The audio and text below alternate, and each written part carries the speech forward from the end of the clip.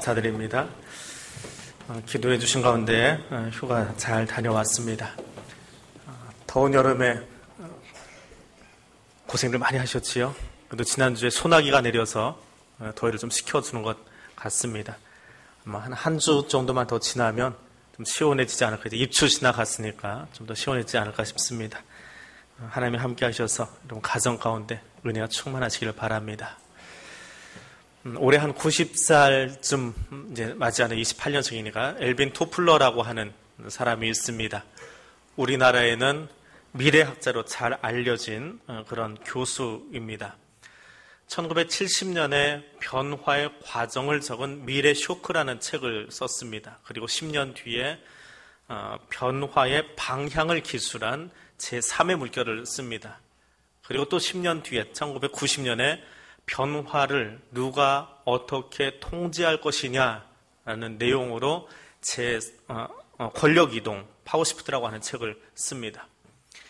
이 권력 이동이라고 하는 책은 미래의 변화를 누가 통제할 것이냐라고 하는 것을 다루면서 권력은 단순히 한 개인이나 국가나 집단이 다른 곳으로 이동시킨다라고 하는 것에서 떠나서 권력의 본질 자체가 변화될 것이다 라고 하는 것을 적고 있습니다.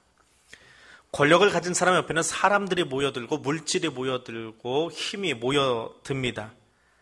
그래서 엘빈 도플러는 어, 인류 역사상 세 번의 혁명적인 사건이 있는데 그 첫 번째가 농사를 짓게 된 농업혁명, 두 번째는 어, 산업화를 이룬 산업혁명, 그리고 세 번째는 지금 우리가 경험하고 있는 소위 정보화의 혁명을 경험하고 있다라고 이야기를 합니다. 근데 성경은 이런 권력 혹은 힘 혹은 파워에 대해서 또 다른 중요한 단어 하나를 이야기하고 있습니다. 그것이 절제입니다. 절제가 힘 혹은 권력과 무슨 상관이 있겠느냐라고 이야기할지 모르겠는데 절제라고 하는 이 단어는 헬라어로 ἐγκράτεια라고 합니다. ἐν이라고 하는 단어는 무엇 위에 있다라고 하는 말이고 어, κράτος라고 하는 단어는 힘 혹은 권력을 의미합니다. 그래서 ἐγκράτεια라고 하는 말은 어, 단어 원어로 따지면 힘 위에 있는 어떤 것. 근데 그것을 번역을 하니까 절제라고 하는 것이 되어집니다. 그러니까 원어 그 단어가 가진 의미대로 그대로 설명을 하면 권력 위에 있는 것 혹은 권력을 힘을 지배할 수 있는 것 그것이 절제라고 하는 성령의 열매입니다. 또 더 강력한 것은 권력은 내가 힘을 가졌을 때 그것을 가지고 누군가를 압제하고 누르고 그 사람을 내게로 끌어오도록 만드는 것이 권력이지요. 힘이지요. 근데 절제는 상대방을 향한 것이 아니라 내 자신을 향해서 내 안에 있는 어떤 힘을 스스로의 힘으로 절제시키고 억압하고 통제할 수 있는 내 안에 있는 권력욕을 다스릴 수 있는 능력 그것이 절제입니다. 그래서 권력보다도 위에 있다. 그래서 앵크라테시아라고 합니다. 오늘 성령의 열매 절제를 설명하면서 함께 묵상하면서 사도행전 24장의 이야기를 우리가 함께 살펴보려고 합니다. 사도행전은 23장과 24장이 사실은 하나의 이야기고 더 크게는 사도행전을 통째로 보아야 되겠지만 오늘 23장, 24장의 이야기를 중심으로 해서 절제의 의미를 한번 살펴보려고 합니다. 이 두 개의 장은 바울을 중심으로 해서 벌어지는 법정 논쟁을 이야기하고 있습니다. 23장에서는 이스라엘의 종교의회인 사내들인 공회가 바울을 소환해서 재판하고 있는 것입니다. 이때의 대제사장, 즉 사내들인의 의장을 맡고 있는 사람이 아나니아라고 하는 사람입니다. 아이러니한 사실은 바울이 예수를 알기 전에 아나니아에게서 사내들인에서 소위 살인 면허증을 받아들고 그리스도인들을 죽이기 위해서 출발을 했습니다. 근데 그 과정 속에서 예수를 만나고 다시 돌아올 때는 예수를 전하는 사람이 되어서 사내들인 앞에 서 있습니다. 어, 영화 007에 살인 면허증을 발급해준 영국의 정보기관이 있지요. 그것처럼 사내들인이라고 하는 종교의회가 바울에게 살인 면허증을 제시해 주었다가 이제는 예수의 복음을 전한다는 이유로 바울을 기소하고 재판하게 된 것이 아나니아입니다. 아이러니한 사건이 될 수밖에 없습니다. 자, 그 사내들인에 서 있는 바울이 재판하기 위해서 둘러서 있는 의원들을 바라보니까 일부는 바리새인, 일부는 사두개인입니다. 그래서 23장에서 이렇게 이야기합니다. 형제들아, 나는 바리새인이요, 또 바리새인의 아들이라. 죽은 자의 소망 곧 예수의 부활을 이야기하는 것 때문에 내가 신문을 받는다. 라고 이야기를 합니다. 자, 여기서 예수라고 하는 단어만 빼버리면 전부 다 바리새인이 수긍할 이야기예요. 그래서 부활이 있다고 하는 바리새인과 부활이 없다고 하는 사두개인들이 자중질환이 일어나 버립니다. 그것을 아나니아가 그 의장격인 아나니아가 중재하지 못하고 어순해, 어선해지는 상황이 벌어지지요. 그래서 우리가 치리하지 못하겠다. 헬라 사람들에게 로마 사람에게 넘기자 해서 24장으로 이야기가 연결되어지는 겁니다. 자, 그 과정 속에서 유대인들이 뿔이 납니다. 왜 바울을 죽이지 못하느냐?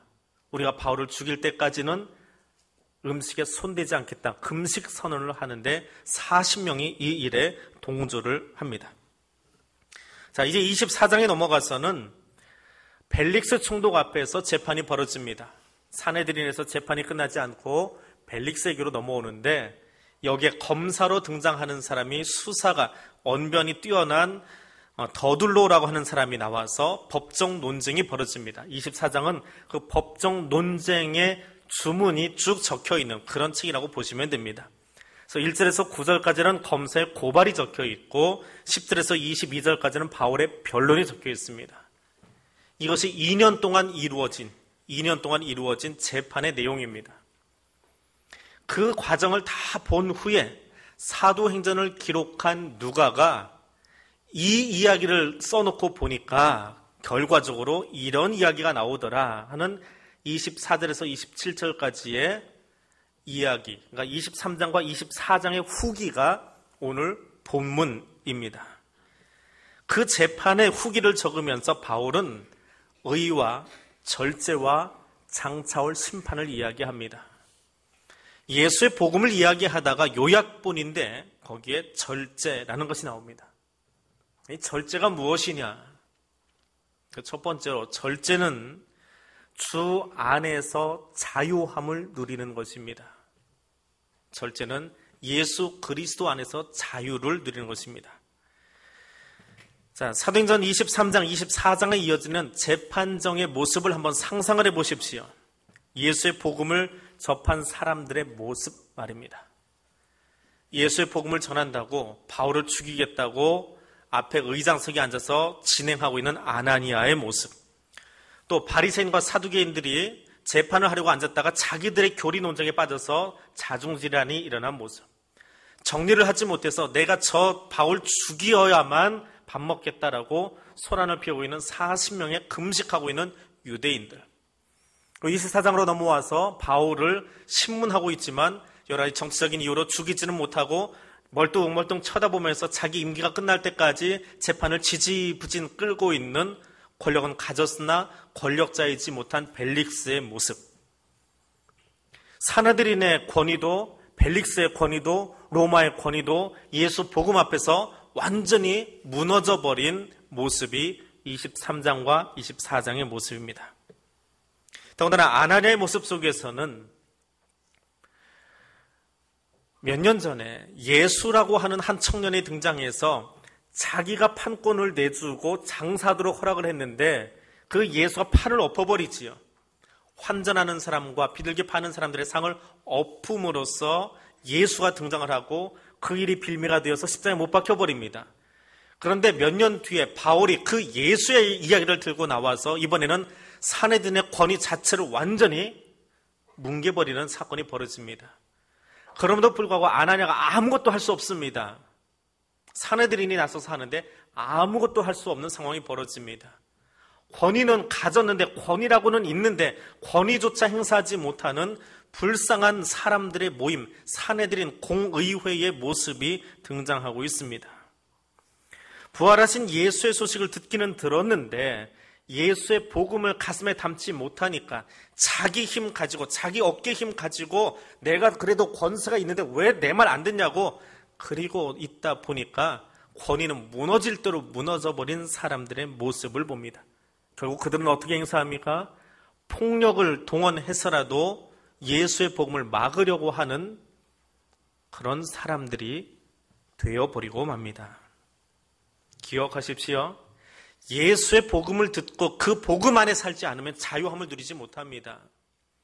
복음을 들었음에도 불구하고 복음이 나의 것이 되지 못하면 자유함을 누리지 못합니다. 오히려 더 불쌍한 인생이 되어집니다. 예수의 복음이 내 안에 들어오면 그 복음 때문에 진정한 자유를 누릴 수 있습니다. 율법에 매여 있는 유대인들을 보십시오. 무엇을 먹어야 될까 말아야 될까 정한 짐승과 부정한 짐승을 가리니라고 정신이 없습니다. 요리법에 목숨을 겁니다. 요리를 어떻게 해야 되느냐라고 하는 것을 가지고 욕심을 부립니다. 고린도 교회 성도들은 이 고기를 먹을 수 있느냐 없느냐 왜 90%의 고기가 이방 신전을 경유해서 나오잖아요. 이방 신전에 드리기 위해서 도축을 하고 그것이 이방 신전에 올려졌다 나왔는데 제사상에 올라간 음식을 내가 먹어야 되느냐, 영적으로 불결해지는 것 아니냐라고 질문합니다. 그 질문은 지금 우리에게도 있지요. 집안 문중에 제사드리니까 갈 수밖에 없는데 목사님 그 상에 있는 음식 먹어도 됩니까? 라고 묻는 사람이 지금도 있으니까요. 또 요리법에 관한 이야기, 그건 2000년 전의 이야기가 아닙니다. 지금도 요리법 가지고 얼마나 떠들썩합니까? 뭐 건강한 것 같기는 한데요. 요즘 TV 프로 틀어보면 죄다 요리 프로그램이에요. 뭐 이 사람처럼 나와서 자기 개인 요리도 공개합니다. 그런데 그보다 더 고급 요리 있습니다. 거기 나오는 백모 사람, 뭐 그런 사람들 말고요. 백화점에 가보십시오. 돈 있는 아주머니들 거기 가서 이스라엘 코셔 음식, 이슬람의 뭐 할랄 음식 그 비싼 돈 사고 그거 사다 먹으려고 난립니다. 그거 먹이면 자기 아이가 아인슈타인 되는 줄 알아요. 미국에 가보십시오. 미국 마켓은 아예 그 코너가 따로 할당되어 있을 만큼 이스라엘과 이슬람의 음식 문화, 요리법이 주종을 이루고 있습니다. 그렇게 먹여야 우리가 건강한 줄 알아요. 복음이 들어갔음에도 불구하고 복음 안에서 진정한 자유를 누리지 못하니까 음식에 목매달고 있습니다. 그것을 비싼 돈 주고 사다가 먹으려고 합니다. 바울이 무엇이라고 합니까? 나는 어떤 고기도 먹을 수 있는 자유가 있다. 이방 신전에 올라왔던 음식이면 어떻고, 우리가 직접 요리한 음식이면 어떻고, 유대 음식이면 어떠냐, 다 먹을 수 있다. 그러나, 그러나, 내가 그 음식 먹는 것 때문에 연약한 성도가 실족하는 일이 생기면, 또 그들이 그 문제 앞에서 바울이 방종하구나라고 이야기하면, 그것도 덕이 되지 않으니까 내가 그 음식을 먹지 않겠다라고 이야기합니다. 근데 이것은 금욕이 아닙니다. 자제가 아닙니다. 먹는 것도 자유이지만 먹지 않고 아, 내가 저 사람 때문에 이걸 먹지 말아야 되나 먹어도 괜찮은 건데 이거는 절제가 아니에요. 먹지 않아도 자유할 수 있는 것. 그것에 손대지 않아도 자유할 수 있는 것. 내 신앙의 양심을 가지고는 전혀 상관이 없지만 그러나 하지 않음도 자유할 수 있는 것. 무엇 때문에요? 예수의 복음 때문에 자유할 수 있는 것이 절제하는 것입니다. 주눅드는 것이 아닙니다. 예수의 복음 때문에 나를 통제할 수 있는 거예요. 상대방을 통제하고 가르치려고 하는 것이 아니라 내가 나를 스스로 통제할 수 있는 나의 권위를 내 스스로의 힘으로 누를 수 있는 것이 절제입니다. 그러면서 자유할 수 있습니다. 그리스도 안에서 자유하십시오. 그리스도 안에서 절제하십시오. 복음을 위해서 예수 그리스도 안에서 자유한 성도들 되어질 수 있기를 원합니다.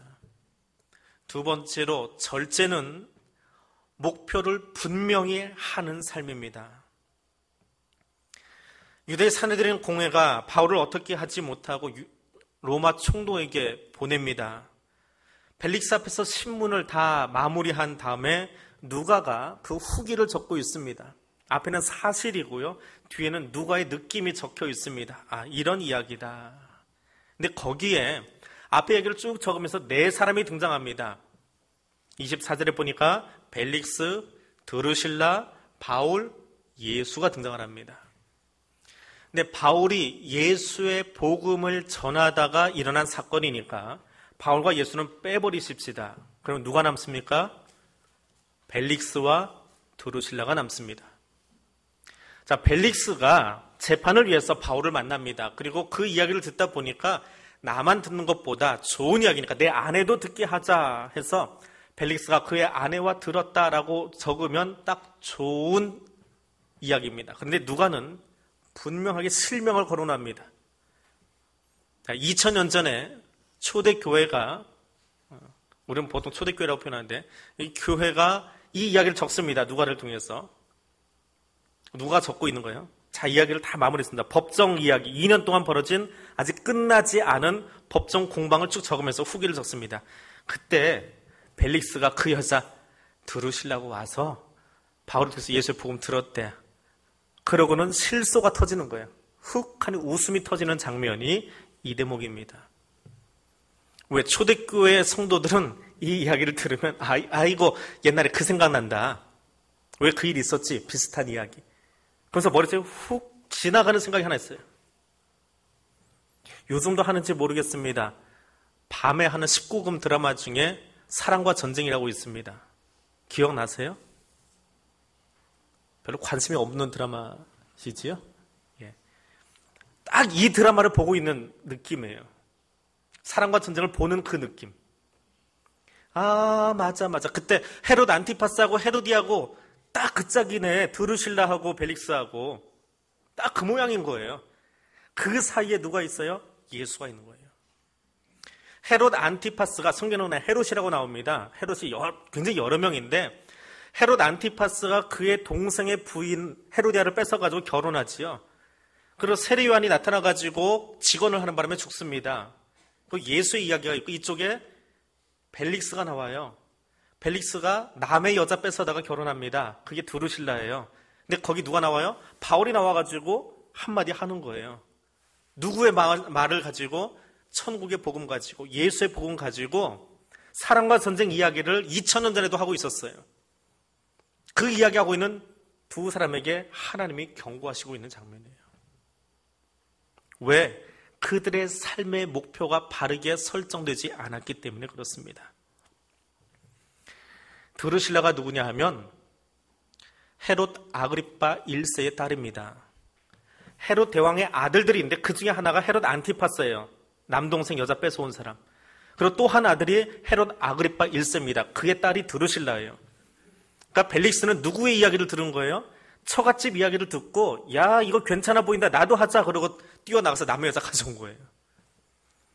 아, 주 파토난 집안이지요. 예, 망조도 이만저만 망조난 집안이 아닙니다. 헤롯 가문이 자기 가문만이 아니라 예, 옆에 있는 사람들까지 다 망가뜨려 버린 가문입니다. 들으실래가 어떤 여자냐? 유대 여자래요. 해필이면 지금 사내들이라고 싸우고 나서 벨릭스 앞에 와 있는데 유대 여자예요. 근데 이 여자는 헤롯 아그리파 1세의 딸인데 시리아의 왕과 결혼했어요. 근데 벨릭스가 로마 총독이 됐을 때 거기를 갔다가 여자한테 반한 거예요. 야, 이거 괜찮은 여자다. 그런데 남자가 얼마나 매력적인지 몰라요, 이 벨릭스가.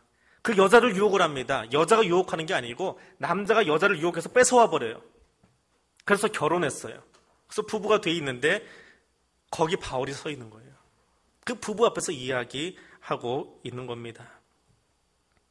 보세요. 그냥 세상적으로 보면 사랑할 줄도 알고 권력도 가지고 있고 쟁취할 줄도 알고 목표도 분명하고요. 얼마나 멋있는 저돌적인 남자입니까? 그런데 그 방향이 잘못되어 있는 거예요. 방향이 잘못되어 있는 거예요. 잘못된 처갓집의 방법을 그대로 자기 삶 속에 적용시킨 사람이 벨릭스예요. 세례자 요한이 안, 세롯 안티파스에게 이야기한 것처럼 바울이 예수의 복음을 가지고 좀 벨릭스에게 이야기합니다. 뭐라고 이야기합니까? 24절에서. 아, 25절에 가니까 바울이 의와 절제와 장차오는 심판을 강론하였다. 설교를 하는데 예수 천당 불신지옥 그렇게 이야기 안 합니다. 2년 동안은 벨릭스 앞에서 했던 설교의 주제가 뭐냐? 의와 절제와 장철 심판 세 가지를 전했다는 거예요. 벨리스야 너 의롭게 살아라. 그렇게 사는 거 아니야. 너 사랑할 줄도 알고 권력욕도 가지고 있고 보니까 참 훈남이야 멋있어. 여자들이 반할 만큼 네가 움직이니까 드루실레가 따라올 만큼 너 멋있어. 그런데 똑바로 사용해야지. 절제할 줄 알아야지. 그렇게 살면 안 된다. 장차 심판이 올 거야 너한테. 그 이야기를 듣고 두려워졌대요. 이게 본문의 이야기고 2년 동안 선포되진 말씀이에요. 사랑의 열매, 희락의 열매, 화평의 열매, 오래 참음의 열매, 자비, 양선, 충성의 열매 맺는 것 좋습니다. 열심히 봉사하고 섬기며 목소리도 크고 직분 가는 것도 정말 중요합니다. 그런데 절제할 줄 모르면 썩은 열매예요. 그건 열매가 아닙니다. 그건 열매 맺은 게 아니에요. 오히려 장차올 심판을 두려워해야 될 위치에 서는 겁니다. 모든 성령의 열매들, 여덟 개의 성령의 열매를 골고루 성장하게 해서 예수 그리스도의 장산 분량에 이르게 하도록 하는 기초가 되는 것이 무엇이냐면 절제의 열매예요. 덕을 세우게 하고 하나님의 나라를 올 수 있도록 내 안에 내 안에 열매 맺게 하는 힘이 절제입니다. 오늘 그 열매를 맺을 수 있는 저와 여러분 될 수 있기를 원합니다. 내 욕망을 위해서, 내 본능을 위해서 사는 것이 아니라 하나님의 마음으로 살아갈 수 있도록 두려운 마음으로 살아가는 열매 맺는 성도를 될 수 있기를 원합니다. 세 번째로 절제는 하나님의 통치를 인정하는 것입니다. 하나님의 통치를 인정하는 것입니다. 절제라는 단어를 영어 NIV 성경에서는 self-control이라고 번역을 합니다. King James Version 성경에서는 temperance라고 번역을 합니다.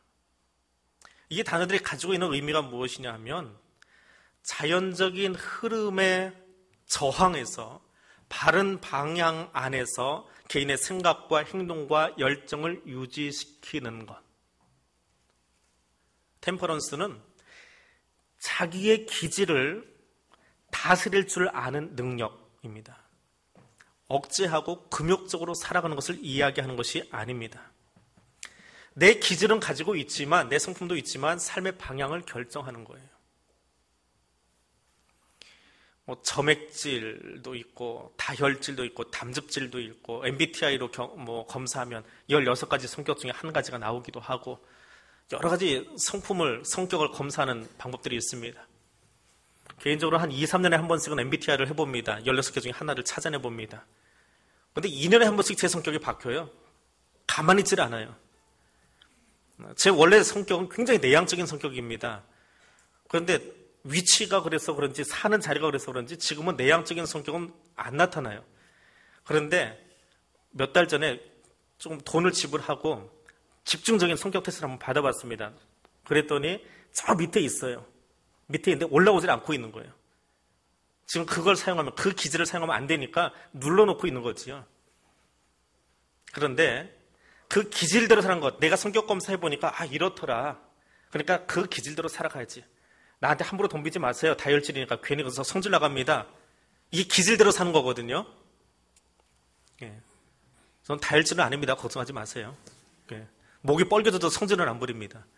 예. 그 성격이 있는데 나 다혈질이니까 덤비지 마. 괜히 나한테 싫은 소리 듣지 말고 기질대로 살겠다는 거잖아요. 이게 절제하지 못하는 거예요. 근데 내 기질은 있는데 내 성품은 있는데 이게 예수의 성품과 비교해 보니까 이건 아니야. 이렇게 사는 거는 문제가 돼. 누구 때문에? 예수와 비교해서 그를 닮지 못한 성품이기 때문에 내가 좀 다스려야 되겠어요. 다혈질을 좀 다스리고 소극적인 것도 좀 다스리고 불이 보고 입 다물고 있는 것도 좀 다스리고 다스려서 누구처럼 예수처럼 살아가야 돼. 방향을 예수에게로 잡아 나가는 거예요. 하나님의 통치가 내 안에 들어오도록 인정하는 거예요. 이것이 절제의 삶이라는 거예요. 예수 그리스도의 온전한 성품으로 자라가는 것. 내 욕심, 내 욕망, 내가 하고 싶은 대로 사는 것이 아니라 내가 하고 싶은 것도 있지만 덕을 세우기 위해서 교회 공동체가 나를 통해서 평안해지도록 하고 싶은 걸 다 하는 게 아니에요. 하고 싶지만 교회가 평안하려면 내가 나를 통제하는 거예요. 다른 사람이 나를 통제하도록 하는 게 아니고요.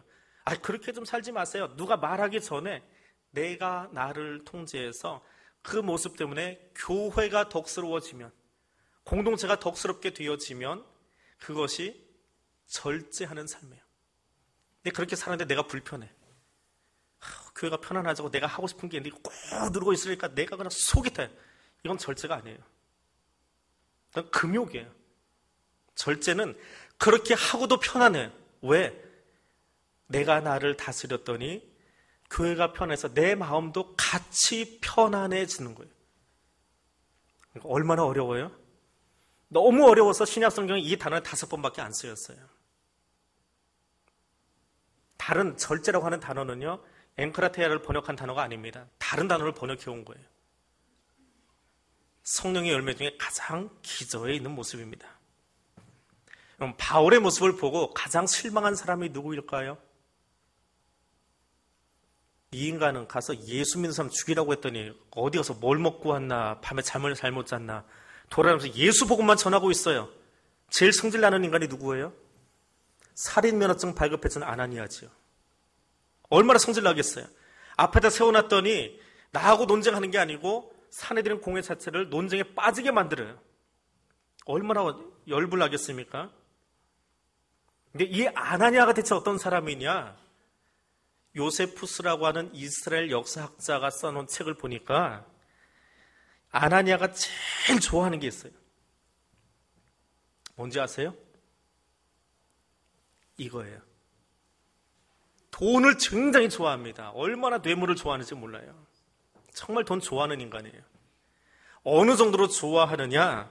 자기 앞에 이거 하고 뇌물 갖다 준 사람도 좋아하지만 제사장들이 받는 수입이 있어요. 쉽게 이야기하면 아나니아는 담임 목사고요. 제사장들은 부목사들이에요. 근데 담임 목사가 돈 욕심이 많아가지고 부목사 사례비까지 뺏어간 사람이에요. 제사장들이 받은 11조, 유대인들이 갖다 놓은 11조가 제사장들의 월급이거든요. 그 11조를 부활을 시켜가지고 가서 뺏어온 인간이 아나니아예요. 그래서 사도행전이 기록되고 몇 년 뒤에 주후 66년에 열심당원이 나서서 이 아나니아를 죽여버립니다. 열심당원이 왜 나섭니까? 이 사람들은 친노마 정책을 펴는 사람, 그 사람들 죽이는 사람들이에요. 소위 친일파 죽이러 다니는 사람들이에요. 왜요? 대제사장이면 중심이 하나님께로 가 있어야 되는데 자기 명예욕에 물질욕에 빠져 있는 거예요. 그래서 열심당원이 나선 거예요. 사도행전 23장에 보십시오. 바울이 아나니아 앞에서 사내들은 공에 그 논쟁 붙여놓은 다음에 아나니에게 이야기합니다. 너 그렇게 살면 하나님이 치신다. 예수 복음 얘기하지 않았습니다. 너 그렇게 살면 요세푸스가 평가한 것처럼 너 그렇게 살면 하나님이 치신다. 내가 이야기하는 게 아니고 그대로 몇 년 뒤에 이뤄집니다. 벨릭스는 다른가요? 23장과 24장에 나오는 두 사람은 똑같아요. 벨릭스가 26절에 보니까 아내와 함께 예수의 복음을 듣고 싶은 마음도 있어요. 근데 그 복음이 뭐였습니까? 너 그렇게 살지 마. 너 굉장히 괜찮은 남자야. 그런데 절제할 줄 알아야지. 스스로를 통제하지 못하면 너 망한다. 그 말을 듣고 벨릭스가 두려웠대요. 그래서 지금 나가 있어라 라고 이야기합니다. 그런데 26절에 가니까 동시에 두려운 마음은 있는데 두려움서 회개하지 않아요. 예수의 복을 듣지 않습니다. 동시에 바울이 돈 좀 더 넣어줄까 하고 그를 자꾸 불렀답니다.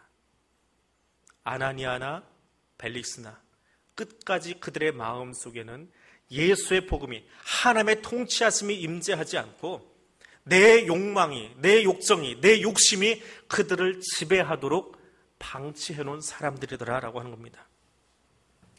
생긴 대로 사는 것, 기질대로 사는 것, 성품이 그러니까 뭐 어쩔 수 없지, 좀 피해가면 되지. 그러지 마십시오.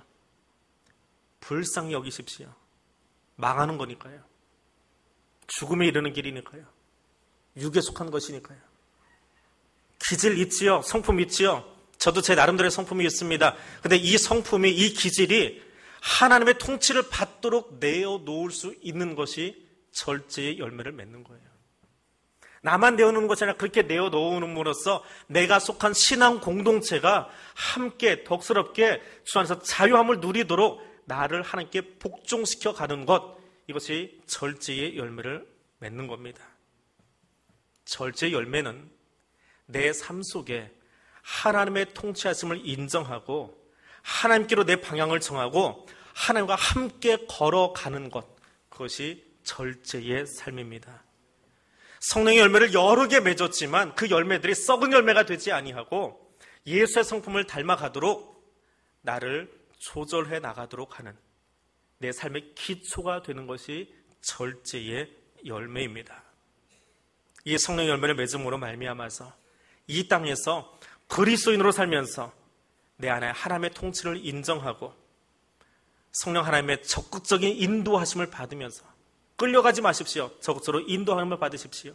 그리고 그 하나님과 함께 걷는 열매 맺는 그리스도인들 되실 수 있기를 원합니다. 그리고 그 열매가 내 안에서만이 아니라 우리 신앙 공동체 안에서 우리 교회 안에서 자유하게 풍성하게 열매 맺을 수 있도록 하나님과 함께하는 그리스도인들 되시기를 주님의 이름으로 부탁드립니다.